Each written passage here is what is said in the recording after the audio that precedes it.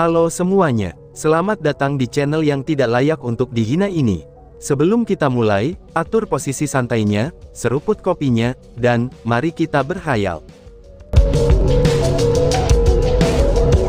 Bocah nakal, kamu berani sekali menyerang para murid dari Stone Sword Sect. Kami akan mengulitimu hidup-hidup, ucap enam tetua. Enam tetua tertinggi dari Sekte Pedang Batu, mereka telah mendatangi Chu Feng dalam sekejap. Selain itu, masing-masing dari mereka mengeluarkan pedang batu dengan cahaya yang berputar di sekitarnya.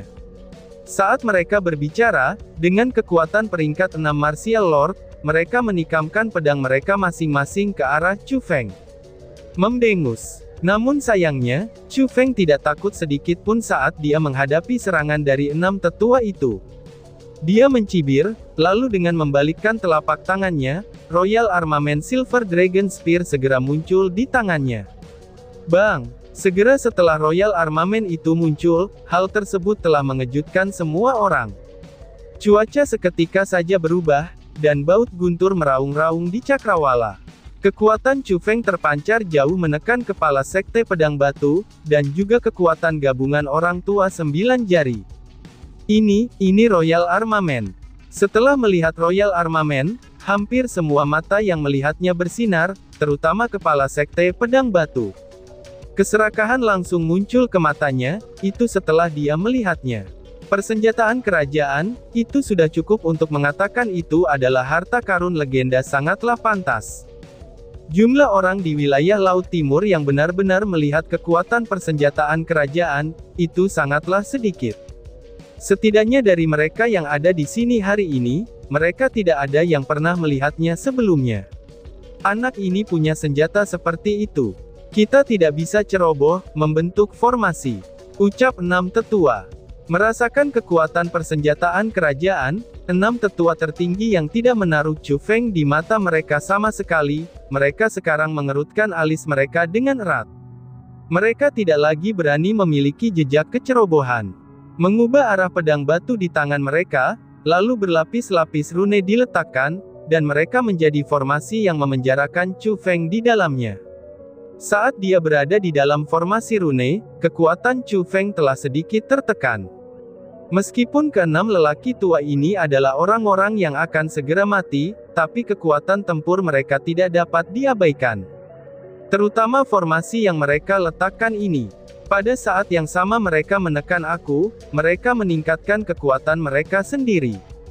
Sepertinya aku tidak bisa meremehkan mereka, gumam Chu Feng. Pada saat itu, bahkan Chu Feng sendiri sedikit mengernyit. Dia tidak menyangka, kalau keenam orang tua dari Stone Sword Sekte akan sangat luar biasa. Orang harus tahu bahwa Chu Feng yang memiliki persenjataan kerajaan, dapat dengan mudah mengalahkan peringkat 6 Martial Lord. Dia bahkan bisa bertarung melawan Lord Martial peringkat 7.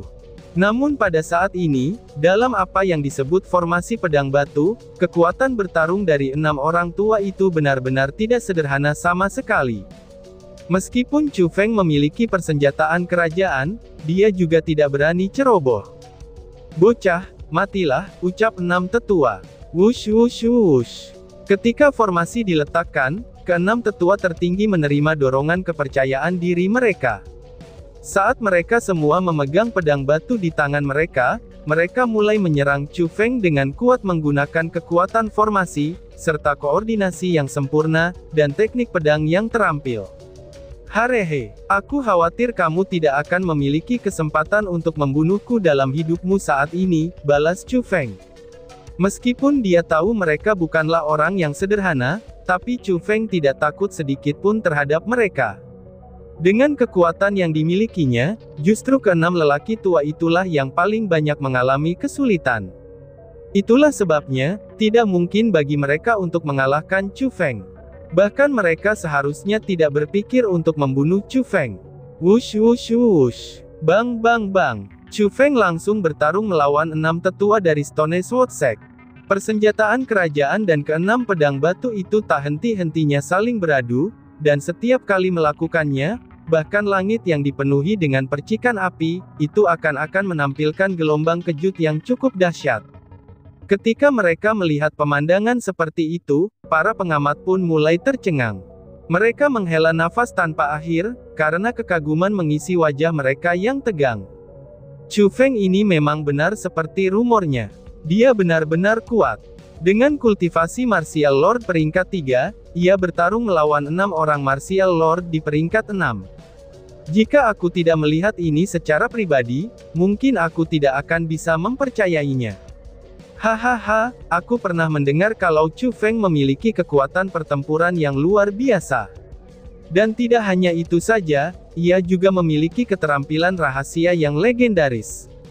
Dia bahkan membuat kontrak dengan roh dunia dari dunia roh Asura, dan sekarang dengan persenjataan kerajaan, dia akan menjadi tak terkalahkan di dunia ini.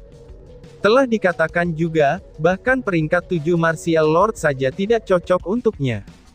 Dari apa yang aku lihat, enam monster tua dari Sekte Pedang Batu ini juga bukan tandingan Chu Feng. Hu, jangan meremehkan enam tetua dari Sekte Pedang Batu ini.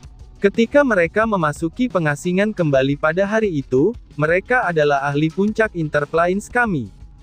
Tidak hanya mereka semua memiliki kekuatan yang luar biasa, bahkan formasi pedang batu yang mereka jalin dan berkoordinasi satu sama lain, itu juga benar-benar tak terhentikan. Kabarnya, bahkan peringkat tujuh Martial Lord terbunuh oleh mereka. Jadi dengan enam orang bertarung melawan Chu Feng ini, yang memperoleh kemenangan masih belum bisa dipastikan. Ucap para pengamat. Melihat medan perang dengan penampilan serangan pedang, afterimage, dan gelombang kejut destruktif yang tak ada habisnya, para pengamat semua menghela nafas sekali lagi pada adegan luar biasa, antara Chu Feng dan enam tetua Stone Sword. Diskusi pecah di sekitar, tetapi yang tidak dapat disangkal adalah, bahwa mereka terpana dengan kekuatan Chu Feng. Kekuatan anak ini memang mengesankan, dan dia layak untuk menyandang gelar jenius. Tapi dari apa yang aku lihat, dia masih tidak bisa mengalahkan peringkat 7 Martial Lord. Ini tidak akan bisa dia dilakukan. Aku harus dengan cepat mengalahkan orang tua sembilan jari ini. Hanya setelah mengalahkannya, barulah aku bisa merawat Chu Feng. Selama aku bergabung dengan mereka berenam, maka Chu Feng ini akan mati tanpa keraguan. Jika aku bisa membunuh Chu Feng dan mengambil Royal Armament darinya, itu akan menjadi prestasi yang sangat besar. Kami akan menjadi orang-orang yang telah melakukan tindakan besar untuk Kepulauan Eksekusi Immortal, ucap Kepala Sekte Pedang Batu. Pada saat itu, meskipun Kepala Sekte Pedang Batu secara intens bertarung melawan orang tua sembilan jari, tapi dia masih sempat-sempatnya memperhatikan pertarungan Chu Feng. Setelah memiliki semua pikiran itu, senyum dingin muncul di wajahnya. Kemudian dia membalik telapak tangannya, dan tiga pil terlarang muncul di tangannya. Segera membuka mulutnya, dia memakan semuanya sekaligus. Setelah memakan itu, dia tertawa terbahak-bahak dan berkata, Aku akan mengambil nyawamu, teriak kepala sekte pedang batu. Bang! Setelah mengkonsumsi pil terlarang, kepala pedang batu sekte menjadi sangat kuat. Setiap kali dia melambaikan pedang batu di tangannya, itu akan muncul kekuatan yang bisa memotong langit dan membelah bumi. Sialan, bajingan tercela ini berurusan dengan aku menggunakan pil terlarang yang aku dapatkan. Seru Orseng tua sembilan jari. Ekspresi si tua sembilan jari sangat berubah, itu ketika dia melihat tindakannya. Awalnya ketika melawan kepala sekte pedang batu, mereka berada pada skala yang cukup seimbang. Namun ketika kepala sekte pedang batu menggunakan tiga pil terlarang, maka jarak di antara keduanya pun mulai menjauh. Hanya dalam sekejap, orang tua sembilan jari berada dalam posisi yang tidak menguntungkan. Namun yang paling penting adalah, dia mengenali pil terlarang yang baru saja dikonsumsi kepala sekte pedang batu itu. Pil tersebut diambil dari banyak kekuatan saat itu, dan dia sendiri telah membantunya untuk mengambilnya. Selain itu, karena persahabatan mereka, orang tua sembilan jari tidak mengambil satu pun dari mereka, dan memberikan semuanya kepada kepala sekte pedang batu. Namun sekarang, dia benar-benar meminum pil yang sama untuk menanganinya. Maka dari itu, bagaimana mungkin dia tidak marah? Hahaha, jangan melebih-lebihkan dirimu sendiri. Aku tidak menggunakan ketiganya untuk mengurusi kamu, tetapi untuk mengurusi Chu Feng. Karena saat ini, kalian semua akan segera mati. Hahaha, ucap kepala sekte pedang batu. Kepala sekte pedang batu tertawa sinis ketika dia mendengar gumaman Pak Tua Sembilan Jari, dan itu adalah tawa yang sangat mengejek. Si tua sembilan jari pun segera memahami niatnya, dan dia buru-buru berteriak kepada Chu Feng. Chu Feng, cepat lari. Tinggalkan kami. Kamu adalah seorang jenius yang langka, dan harapan masa depan dari Sekte Demon Knight Crippling. Jangan korbankan masa depan kamu yang hebat hanya untuk hidup kami yang kotor ini. Abaikan kami dan larilah dengan segera, teriak si tua sembilan jari. Setelah mendengar teriakannya, Chu Feng juga melihat kekuatan aneh melonjak dalam tubuh kepala sekte pedang batu. Itu adalah efek yang diperoleh dari menggunakan pil terlarang yang sangat kuat. Chu Feng tidak hanya tahu bahwa kepala sekte pedang batu mengonsumsi pil terlarang, tapi ia juga tahu setelah dia melakukan itu, maka sudah jelas bahwa Patua Sembilan Jari akan dikalahkan olehnya. Jika semua ini tetap berlanjut, maka Patua Sembilan Jari akhirnya akan dibunuh. Namun karena Chu Feng telah menunjukkan dirinya untuk membantu mereka, maka dia secara alami tidak akan mengabaikan mereka semua. Dia pun dengan keras menjawabnya. Senior jangan khawatir. Selama aku, Chu Feng, ada di sini, aku tidak akan meninggalkanmu dan mengabaikanmu. Aku juga anggota Crippling Night Demon Sect. Karena kita berasal dari sekte yang sama, kita adalah keluarga. Kita harus berbagi nasib dan bencana yang sama. Sekte Pedang Batu ini benar-benar berani. Mereka berani menjadikan Crippling Night Demon Sect kami sebagai musuh. Alih-alih membiarkan saudara-saudara kita yang membunuh mereka, mengapa juga bukan kita saja yang melakukannya sendiri? Tidak perlu takut, karena yang paling buruk kita hanya akan mati. Jadi hari ini, kita akan berjuang sampai akhir, teriak Chu Feng. Segera, teriakan Chu Feng menarik pujian dari kerumunan. Jangankan pria tua sembikan jari dan yang lainnya yang bertemu Chu Feng untuk pertama kalinya, bahkan para pengamat yang sama sekali tidak berhubungan dengan Chu Feng, mereka memberikan acungan jempol jauh di dalam hati mereka. Itu dikarenakan kata-kata Chu Feng adalah manifestasi dari satu kata, yaitu kebenaran. Di dunia ini, semua orang menempatkan kepentingan mereka sendiri di garis depan. Bahkan benar-benar sangat sedikit orang yang menekankan kebenaran seperti Chu Feng. Dia bahkan memiliki pola pikir seperti itu di usia muda, dan itu benar-benar sesuatu yang langka untuk didapatkan. Hari ini, meskipun orang-orang yang menonton telah mengagumi Chu Feng cukup lama, tak mereka melihatnya dalam cahaya yang sama sekali baru hari ini. Bukan hanya bakatnya yang tak tertandingi, karakternya juga lebih unggul dari mereka pada generasi yang sama. Tidak peduli seberapa kejam dan bengisnya dia memperlakukan musuh-musuhnya, dan bagaimana dia tidak peduli dengan metode untuk mencapai tujuannya, setidaknya ketika bersama sekutu, dia adalah orang yang layak dipercaya.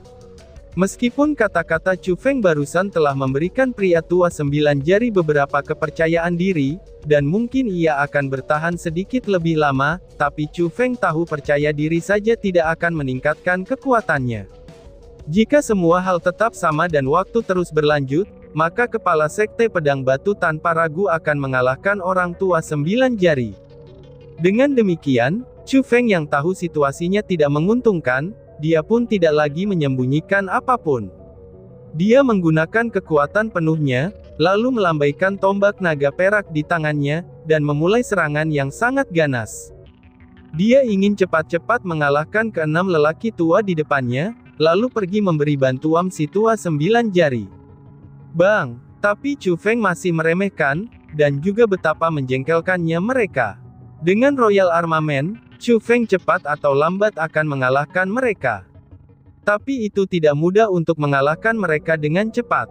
Melihat bahwa kamu semua telah berkultivasi selama bertahun-tahun, aku telah merencanakan untuk meninggalkanmu mayat yang utuh, dan itu membuat kehormatanmu tidak rusak. Tapi karena kamu terus memaksakan ini, kamu tidak bisa menyalahkanku karena tidak menunjukkan wajah dan belas kasihan, ucap Chu Feng.